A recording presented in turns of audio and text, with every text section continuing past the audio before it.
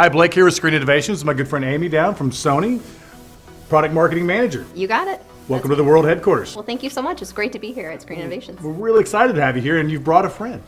I did, actually. A uh, brand new friend, the VPL VW 1000 ES. This is an amazing projector. Absolutely. We're looking at 4K resolution with the new Sony projector, but before we get into talking about resolution, I got to give a props to the design team.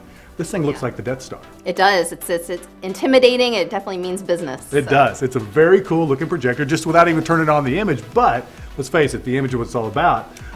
Absolutely. 4K resolution. That can be a little confusing to folks. Let's, let's talk a little bit about what that means. So you're, you're right. 4K within the home theater market is definitely new, uh, the new exciting uh, trend. 4K refers to resolution, as you mentioned, and it's actually greater than four times the resolution of 1080p.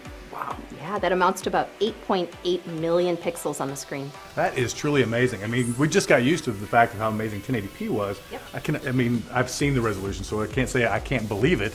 but when we were shooting this image up earlier on our Black Diamond uh, Zero Edge product here, I, I was standing a foot away from the screen and I saw no pixel structure whatsoever. You're absolutely not going to. This projector is going to bring you the most lifelike, um, realistic images you're ever going to see. And that's true. I mean, even with the larger format. Now, 4K really excels when you start moving above 100 inches Yes. and up to even 180 inches like you had at CES.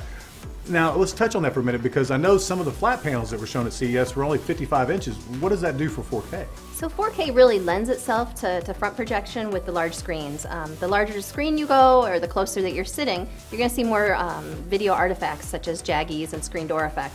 4K really eliminates those, making it a lifelike image. And it truly does. Now, it's not only that it's a 4K projector, but it's also a 3D projector. That is correct. And now, what's it do with the 3D format? Is it up converting that as well? It actually is. Um, because we use native 4K panels, um, all of your high definition content is going to be upscaled to 4K. The great thing is that way you can get 4K upscaled 3D content and kind of to round it all out and give you the most immersive experience, you can do upscaled 4K 3D in anamorphic with or without a lens. Well, that really uh, lends itself to be a perfect match for the Black Diamond Zero Edge because we were able to do active 3D with, with the uh, Black Diamond, of course, and we're the only screen on the market that to do truly active 3D with the lights on. Not something you're going to do with movies, but we can play some video games in 3D. That's very cool. And we're watching uh, Or sports. or sports in Yeah. 3D. Exactly. Who wants to sit in a dark room watching football, right? Ah, that's A little kind of weird. a little weird, right?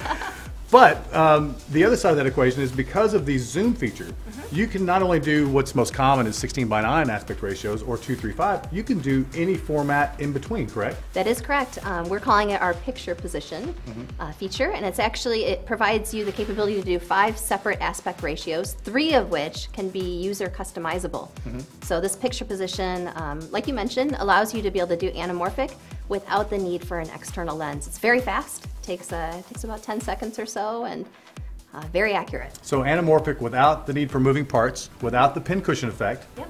And it, again, you're not sticking to just one format. You can do 235, 185, any format that the movie actually comes out in, you can actually display it in natively. Absolutely. Uh, but I think that actually, uh, because of the fact of the zoom feature, we're going to see a lot more 235 anamorphic screens going out, uh, especially with Black Diamond against Zero Edge, because one of the advantages we have is there's no need to mask a Black Diamond. As you can see behind us with the black screen, no complicated masking systems. So just like there's no moving parts with your zoom feature with a Black Diamond Zero Edge or a Black Diamond fixed screen, there's again no need to have moving parts with, uh, you know, uh, uh, with the drapes dropping in. there. Perfect match. It is a perfect match, isn't it? Absolutely. well, make the perfect combination. Get yourself one of the Sony VW1000 ES, match it with one of our Black Diamond Zero Edge screens, put this in your living room, maybe even add a little bit of our backlighting like you can see behind the screen right now, and you've truly got a, a world-class combination. Especially, you know, the VW 1000 has 2000 ANSI lumen brightness, so that really lends to the flexibility of the product. That truly does, and that's like I said, we can watch this with the lights fully on, which we'll show you a sample of in just a minute. When you're watching your sports, when you're watching TV, you're playing video games, absolutely no need to turn the lights off. And as we'll show you, not just a little bit of light, but a lot of light. So again, this combination I think is going to be a real home run for both of us. Definitely, I agree. All right. Well, thanks again for coming down, Amy. Thank you. It's been a pleasure being here. All right.